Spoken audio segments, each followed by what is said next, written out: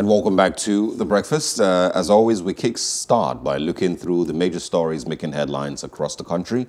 And today will not be different. We're going to be speaking this morning with two persons, Mr. Demola Akingbola, who's going to be joining us online. Uh, thank you so much. He's a publisher of the Podium News. Uh, thank you very much for joining us, uh, Mr. Akingbola. We also have in studio uh, with us Mr. Gbolahan Olojide, who's a regular on The Breakfast. Thank you also for stepping in. Thank you. For Good being a part morning. Yes, so we're beginning this morning with, uh, let's see, let's go straight to uh, the Nigerian Tribune. This one says, Northern elders to Fulani, return to North if ejected from South. Sultan, Obasanjo, IBB, others eulogize Oyitola Lola at 70. Federal government establishes polytechnics in Oyo Plateau. $40 million worth of jewelry seized from Diezani to be sold off. Our decision on strike still stands, NASU SSANU tells FG. Hopefully, we have arrested impending strikes, and that's according to Ngige. This one says, Fayemi tells Chatham House, Nigeria mobilized over $95 million to combat COVID-19. 80 million doses of vaccines expected in 2021. And some other big ones, FG extends NIN SIM linkage deadline by eight weeks. Smugglers open fire on customs patrol teams in Jaw 4. And uh, this one from the Nigeria Ports Authority NPA saying Apapa Port now connected to Lagos Ibadan standard gauge rail. Yes, these are the top stories on the front pages of the Nigerian Tribune this morning. A, a, a, a good place to start might be the good news, and that is Okay. the connection of a Apapa Port to the Lagos Ibadan rail. Um, back in the 50s or even before then, colonial masters understand the importance of rail to the economy. Uh, well, for them, it was to take our stuff out of Nigeria to, to, the, to the port and then export it. Um, so it was a critical trade infrastructure. But somewhere along the line, uh, we lost it. If you still go to Apapa Port today, you see that same old rail that went into the port. We abandoned it. We brought all the trucks from heaven and hell, and we messed up everywhere. So it is good news to know that that linkage has happened. So there's a standard gauge extended from the former terminus right into the port. That will help trade tremendously.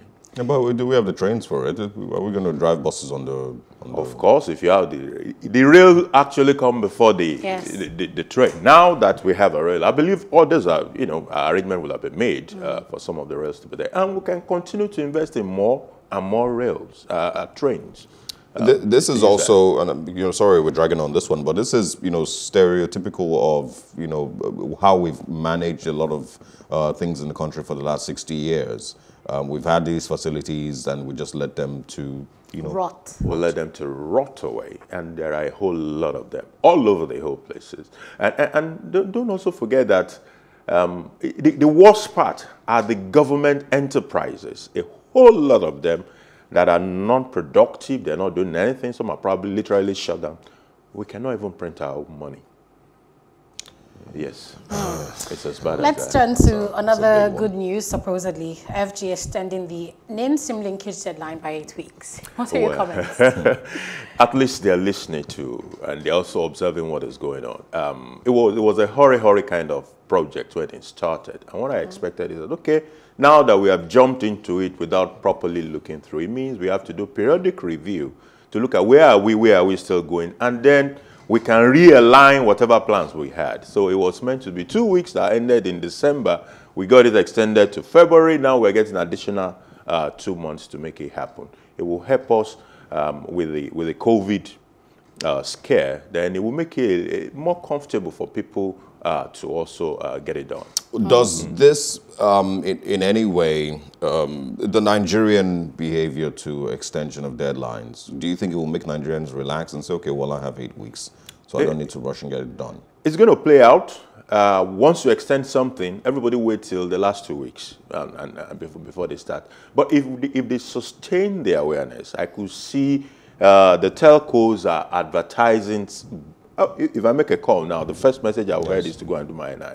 So if we continue the awareness, maybe this time around, uh, people will sustain the tempo and everybody will get Okay, so there's this theory on social media. People are saying the government actually, in fact, want Nigerians to get registered by the end of 2022. But they will just give you temporary deadlines just to create panic and create fear, and make everybody register. I don't know what you think. 2022 is a, is, a, is, a, is a long time. If, you, if, if that start making round and it gets popular, people will just abandon the thing. Mm, they won't and do neglect it the until process. that two weeks to that 2022 deadline. Okay, let's move to our uh, guest who's joining us online, Demola Akingbola. Good morning, sir. Thanks Good for joining us. Thank you for having me again today. Good morning, Mr. Alatede. Good morning. right. So we're on the Nigerian Tribune this morning, and we discussed uh, already two big stories here. Uh, I don't know if you would like to take this one on the front page of the, uh, the Nigerian Tribune. It says, Northern elders to Fulani return to North if ejected from South. Do you agree? Uh, well, it's um, an ominous sign. It's not something that should be happening in 21st century Nigeria. But unfortunately, that's where we find ourselves today. Um, it's um, the clearest indication yet that we don't have a country and we don't have a nation. But let's um, cast our mind back to uh, the, the, the circumstances that led to the uh, first military coup in 1966, and of course the Civil War. This was how it started. Pogroms, the killings, the hatred, um, the moment that we cannot live together in unity, irrespective of our religious or ethnic uh, affiliations, that is the clearest sign yet that the country has failed. So I really don't think the solution is asking them to go back. They need to live with their host communities in peace, comply with extant rules and regulations, and stop terrorizing people. I'm, I'm sure if we're able to do that, um, there will be no need for them because we need each other. Let's, let's, let's, let's, let's just face the fact we need each other. But if you get to a state where we're asking them to go back, okay, their leaders are calling them, then of course it, it's a lot of things will follow subsequently that we will not be able to predict or control. So for me, it is not a good development. Uh, we may say, yes, good traders are bad rubbish, but of course we have our people out there in other states also. So what's going to happen to them? Are we going to ask them to come back home? So All right. that is just, we need to remember exactly how the Civil War started, yeah. Okay, Mr. Akingbola, let, us now move to the Nation newspapers. Uh, there's a couple of big ones there that we can also find. Uh, the major one that you can see on your screen says, anxiety over killer headers uh, persists in Oyo and Kwara. Uh, you can also see the NSCDC deploys 150 operatives in crisis area. Police and traditional rulers parley in Ilorin. Also, this uh, on the nation court strikes out Saraki's suit against Kwara. And government varsity workers talks uh, collapse. Um, passenger held with 7 billion naira worth of cocaine at uh, the Lagos airport. Ooh, this is not looking good. Um, well, good luck to him. We can also see on the nation 36.4 billion naira foreign reserves keep the naira stable. And uh, NIMET predicts food shortage this year. Um, Ondo doctors on strike over pay. And then top of the screen, you can see there 56.2 million NINs linked to SIMs. Deadline now 6th of April. And um, a sad one, bandits kill 21, abduct 40 in Niger State, 3 gone down in Kaduna. Speaker, governors, IBB, and ministers mourn Momo. President orders Adamu to hand over. All right, um, Demola Kumunga, we'll start with you um, on the nation. Yeah. You can pick um, anyone you want to kick off with. Yeah, quickly let me um, talk about the fact that so far we've got 56.2 billion. In, I think that that's a good development. That's probably uh, 25% or so of Nigerian population. And it's a work of development that the, the, the deadline has been increased. That's what we've always advocated for. I said it here about two or three weeks ago that the deadline was not going to be realistic. So um, and it's good. And like Mr. Oh, Mr. already said, maybe the Nigerians will wait again for a week to the end of the new deadline. But so far, so good um, that we have that number. Um, the issue of insecurity in Nigeria, it's, it's, it's getting to a state where you begin to wonder what's going on. Okay, we said here last week that the replacement of service chiefs would not put an end to the killings and kidnapping. There are systemic issues that need to be addressed. A lot of things need to be put in place. But the question is, are we going to food arms and allow this to, to, to, to continue unabated? It, it's, it's sad, really. Um, a friend of ours went to Nigeria for Christmas, was kidnapped on, on Wednesday or Tuesday. Yesterday we heard that he's been killed from, from, from, from US there to go. So every day you read about kidnapping, about killings, and beyond replacement of service chiefs, the commander in chief, president, all the governors need to do something drastically. Uh, talking about the foreign reserves, good developments, that $6.4 billion, uh, keeping Naira stable. My question is for how long? So what we're doing, we are propping the Naira. We're propping the Naira, and the question is for how long? While this will work on the short term, we should be looking at long-term strategies that will make sure that we increase our foreign reserves, we, we earn more foreign exchange, and that is where we can have the Naira being stable over a long period of time. So this is good, but it, it, it is not um, something that we should dwell on for too long. It, it's probably something to start with. Yeah. And All right. good luck to this guy with seven billion naira worth of cocaine. It, it, it shows how desperate Nigerians are. Nothing has changed. In terms of how desperate people are uh, to make money. But kudos to NDLEA for being able to um, arrest the suspects, and we hope that more of such suspects will also be fished out wherever they are. Luckily, Well- luckily for him, he was uh, caught here in Nigeria. If he was in Indonesia or Malaysia, the story might be different. Oh yeah, Mr. Mr. it Olujide, I want, different. Exactly, exactly. I don't know if you saw the story over the weekend where a, a woman was apprehended. She, okay, she caught, um, rather, they found uh, uh, the 30 billion naira worth of cocaine on her. She said, you know, they were going to pay her about 2 million naira. The story made the rounds over the weekend. I don't know if you heard about It just tells really that you know it's a great, it's a big business here in Nigeria. You know, we probably are not paying that much attention to it, but Yeah. Nigeria is you know It's a seems to be a great route, a transit you know route I- for. I, for, I, I for think we're even going beyond just being a transit route to being consumers of drugs. Um, we might not be able to afford cocaine, I mean, the real pure cocaine for a lot of users.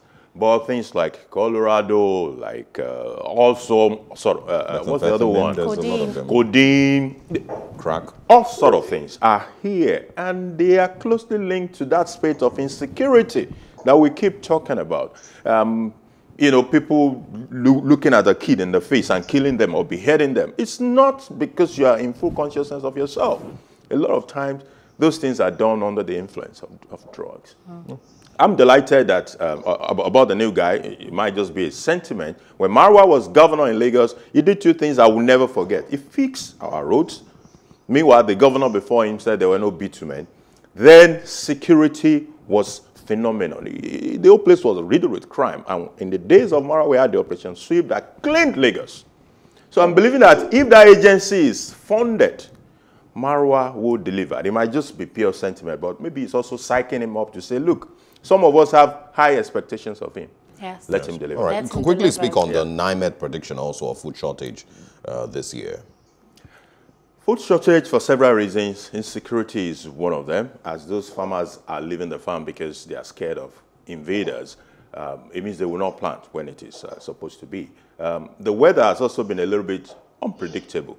So a combination of high insecurity level with unpredictability of the seasons uh, um, is, is, is a combo for disaster. You know, so I'm hoping that the, the, the there's a food uh, security kind of agency, there's a plan of, of federal government that it will, it will step on this and, and do something. I, I had the price of corn uh, in the market yesterday. I I was worried. Corn. Yeah, yeah. That's the one that it, I would I would I would lose it. Let's turn to I the next paper now, the Nation newspaper. It says uh, PTF, that's Presidential Task Force, saying that COVID-19 killed four, I beg your pardon, going over now to the Punch newspaper. Uh, this one says, uh, panic in NYSC headquarters. Camps as resident officer dies of COVID-19 panic in NYSC headquarters and camps as resident officer dies of COVID-19. Uh, NYSC saying he contracted COVID-19. He was referred to the NCDC and died outside the camp. And a uh, spokesman is saying there was no infections in the camp. Workers accuse NYSC of hiding the case. And uh, the scheme also saying they tested everybody, including resource persons and market operators. Uh, this one also here says, telcos collect 56.18 million NINs. FG fixes April deadline. 70 million Nigerians to be vaccinated by 2022, according to FIME. IG welcomes Buhari from Katsina amidst handover rumor. Poor Nigerians will increase by 15 million soon, according to the World Bank. This one says, Oyo, Abuja, four states to witness shorter famine season. That's still on the food shortage prediction uh, by NIMET. This one says, bloodbath as 29 killed, 40 abducted in Niger, Sokoto, Kaduna. Protest rocks Ogun as customs smugglers clash leaves one dead. And uh, foreign herdsmen behind killing, kidnappings in forest reserves, according to Akeredolu. In addition to other stories here about Entiolu Momo's book about his life and uh, a judge discovering uh, three children uh, with his ex-wife aren't his. Uh, this story, uh, I mean, it's, it's, it's big. Paternity fraud issues circling back here. Uh, this is a judge in the country saying he discovered that three children with his ex-wife are not his. And, many, and that's many years after, you know, he's trained them in school. Mm. They're all big now. And his but well, I think legally they're still his anyway. Yeah, according to the law, right? According because he law. had the children when while the married. wedlock subsisted, so yes. they're, they're still his. But it's, it's, it's a disaster for um, for the male person. Uh, male is all ego and a whole lot of things around himself. So for him to discover 20 years or 19 years or 15 years down the lane that the woman who has been sleeping beside me has also been on a sex romp outside somewhere there for how long you don't know. It's a disaster that most men will never recover from. You could see the, the, from the tone of this that that man is probably going to go to his grave without pain in his mind. Mr. Ademola, yeah. let, me, let me bring you in here to throw in a controversial question. Uh, it doesn't apply to this particular story, but generally, you've seen cases where women would say their husbands were infertile and they wanted to protect his ego, so to speak, and would go ahead and have you know relations outside of marriage just to protect his ego and protect their marriage. Do you, do you think that's a valid excuse uh, for paternity fraud?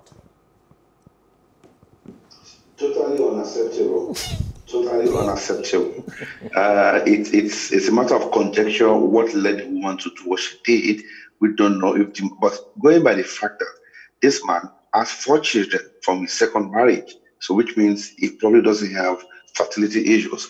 But be that as it may, that is not an excuse. If your if, if your partner is infertile for one reason or the other, you stick with it.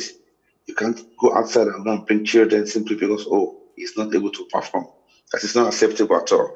And I mean it, it is a big blow for the marriage institution is it, it is a big blow for advocates of um, one man, one wife, because now people are going to say, Are you sure that, the children that she has for you are yours? And I bet you every man will go out there and be doing DNA test secretly. He just don't know what's going on. Mm. It's sad. It's really sad. DNA testing For him to have discovered at this age, yes. at this stage of his life, yeah. It's, it's yeah. really unfortunate. Not even sure how to react to that. I, I would say the DNA from. testing labs must be cashing out this period. Yeah. People well, rushing I, to I, check. I advise people not to go there. oh yeah, right. If you if yeah. you eventually find out that they are years, you will have hurt your wife because you have put her integrity onto the test. Yes, true. Well, that's if you if you're doing if it he goes openly. Right. I mean, if he goes wrong, you are going to be devastated. Yes. Probably will never recover from it. So I'm asking myself, why bother? What use? All right. I, I, I, don't I don't know if I would agree entirely. I know. You know, I know a lot of people don't agree on that. I mean, it's a just level of trust, betrayal. I mean, just trust. So, so, I've also heard conversations where people try to equate, you know, you know, um, paternity fraud with, you know, men who have children outside, and the woman never knows until they they pass, you know, and. Uh, which, uh, which is to think of it, well. all these kids that we're talking about, they were fathered by somebody. Yes. Yeah, yeah.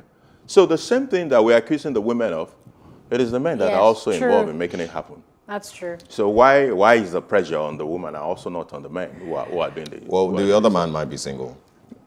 Oh may also God, not be. Mr. Arige, come Doesn't have uh, commitments to anybody entirely, you know. Let's look at the let's look at the big story here on the Punch newspaper.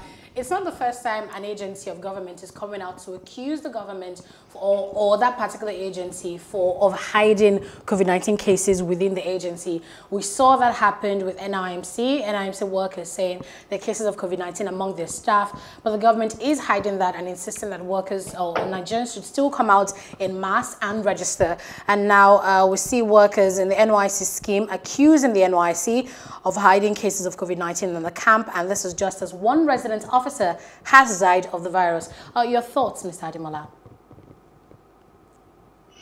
Yes, um, not something to be proud or to be happy about, but wherever you find a congregation of human beings, definitely you you, you, you, shouldn't be surprised to find things like this. What I would suggest is for the NCDC to, I mean, to move in quickly and conduct independent tests. There's no point arguing over where he died or what happened. Let's have independent tests across all the camps.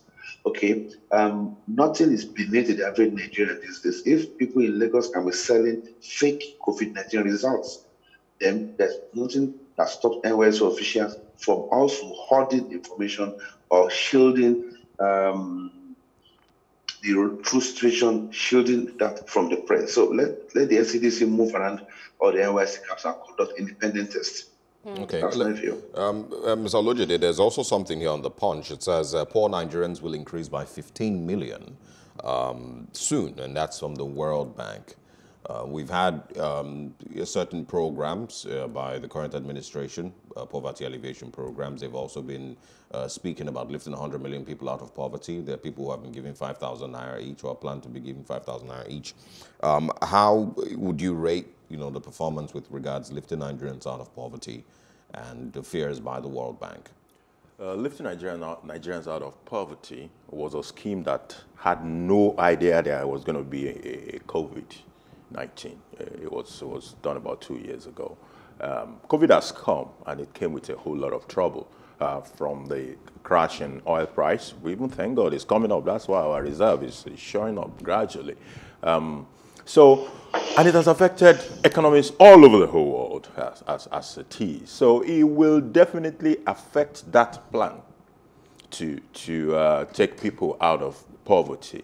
Now, how we handle it is what will determine whether 10 million or 5 million or 15 million additional people will come into poverty. I, I think so far, government is trying on the short-term side of things. That's why you have all those mm, attempts at doing some palliatives, making some money available and, and, and all sort. But we now have to go beyond the short term because taking people out of poverty are not short-term measures. Absolutely not. All right. Um, the Daily Independent, I, if we have uh, the time, I think we can just uh, quickly have a few uh, stories from the Daily Independent. COVID-19, Kogi government threatens to sue PTF. NCDC alleges uh, they have turned COVID-19 to business. 400 billion naira for vaccine, too much. And that's from uh, uh, Peter Obi, former Anambra State Governor. Um, I remember we had spoken with the um, one of the special advisors or commissioner from Kogi State not long ago, and he, he said that um, the figures are false. He basically said that there was no COVID-19 in Kogi State, first of all, and then uh, some of the you know statements that the PTF are making are false, that they are simply um, exaggerating COVID-19's um, um, what we're dealing with in the country Yeah. uh, to scare the presidency. Also claimed that Abakari may not have died from COVID-19, and you know some of all those things were, were lies. And the, and the president's reaction declaring Kogi as a high-risk state, saying Yeah. they're not testing, they're not creating isolation centers, they're basically, you know, Because it almost feels like they the don't believe that it exists. It, But, it will get worse for them. okay, but but but let's. All right. Oh, oh hoodlum skill inspector burn station in Abia. Your strategy may set the southwest on fire. Nans warns Igboho. And also Nigeria to provide 80 million doses of COVID-19 vaccines in 2021. Strike varsity workers parley in or federal government and varsity workers parley inconclusive. Um, I think we've taken most of uh, the rest of uh, those. So let, us bring uh, Mr. Kimbola in and hopefully Mr. Olojide with uh, Peter Obi's views on 400 billion naira being too much uh, for vaccines. Do you agree? Well, my question to Peter Obi is what is the proof or the evidence that he has? I mean, we should be talking uh, from an empirical um, data point of view. Someone like Peter Obi shouldn't just make statements that, uh, that are, are not verifiable. Oh, yes, um, in, like, like everything Nigerian, there could be uh, instances whereby the, the, the cost has been inflated, but these are not things that you want to put in the public domain without your facts and figures. Okay, let me talk about the Kogi situation. It's, it's just unfortunate that right from day one, the Kogi State governor has, has adopted a, um, uh, a, a, a, a, a, position that I find very curious. First, he said there was no COVID 19 in Kogi. Then the former chief judge of the state died of COVID, and so many things have happened since then. There, of course, he said vaccination is meant to kill people, and now it's, a bit. I think the, the president needs to call him to order, really. Needs to call him to order. I mean, okay. you, you can't carry on as if you, you, you know everything and every other person doesn't know um, what's going on. It needs to be called to order. All right, Mr. Olajide, yeah. your strategy may set Southwest on fire, Nans warns Igboho. Of course. Um, there's, there's no doubt about that. That is not a strategy. That is a knee-jerk reaction. Um, there were gaps. Somebody needed to do something. It went in there and it was doing something. Uh, but that is not a strategy. So we must be able, I mean, I don't see any reason why we can't work with him. So the structure, the former, former system can work with a person like Igboho as well. You know, to carve out a strategy that is enduring and that will solve the problem. You know, chasing Fulani bandit 500 meters into the bush is not a solution. It's not. Absolutely yeah. not. Hmm. All right, so let's uh, talk about this one here. Um, we see this all the time, and I've talked about this on the news before, on the breakfast. We just keep hearing promises from the government. We first heard that the first batch of COVID-19 vaccines will arrive in the country by the end of January. Um, by my calendar, it's the 3rd of February. We're still seeing fe federal government two, Nigeria two. While we're speculating, South Africa has received about 1 billion doses of COVID-19 vaccine yesterday or so. And uh, this one is still saying Nigeria to 1 million, 1 million uh, doses of COVID-19 vaccine by South Africa. Nigeria to provide 80 million doses of COVID-19 vaccines in 2021. Um, Mr. Ademola, would you, would you like to speak on this? How it seems so much money is being you know, thrown around, or so much figures are being thrown around, but we're not seeing anything on ground. Yes, I, I did say on this program two weeks ago so that logistics is going to be very um, key determinant of how successful will be in fighting COVID-19. Logistic issues, things being done, um, devoid of bureaucracy, devoid of corruption, all of that will come into play. Okay, but like we like we said, we're happy that something is being done. It can be made better. Okay, um, the cost element. Let's leave that to uh, the relevant organs of government to, to verify what we need now. We need to begin to facilitate people ASAP. The logistics should be made better and we need to just get it right. You talk about South Africa, yes, that is planning. Okay, You've got to plan, you plan, you get results. Okay, so we need to put our hands together, the PTF, the NCDC, Ministry of Health, everybody should work together to ensure we get it done. That's really very important. Mm. So the government does need to plan and, you know, take a cue from South Africa then. Yeah, uh, uh Mr. Olojide, um, I think you also wanted to respond to um, Peter Obi's statement about 400 Yes, I mean, Peter Obi was a banker of several years.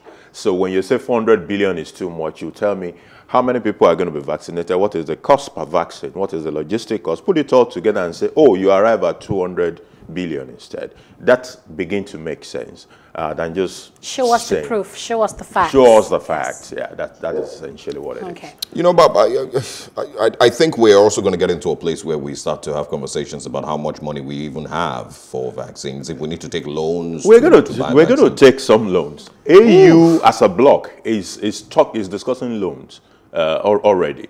We we, it's not part of the uh, uh, budget. We don't have a 400 billion naira as, as budget for vaccine, uh, as it were. So we have to do some borrowing.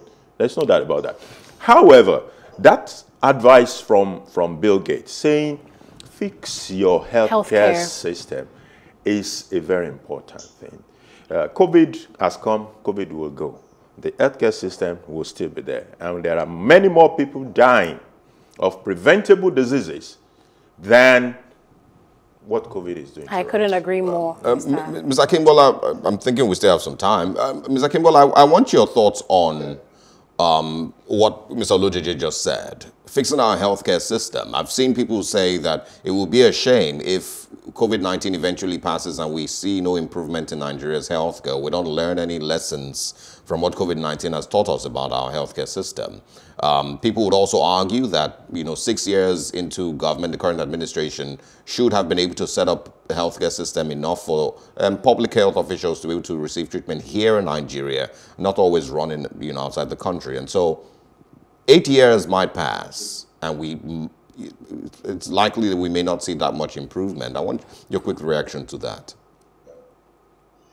Yeah, um, at the risk of sounding pessimistic, um, nothing going to change in the healthcare sector of Nigeria because what we are doing now is we do not have an existing structure that is driving our strategy on COVID 19. What we're doing is we're throwing money at the situation. What we're doing now is we, we, we're adopting uh, an emergency approach.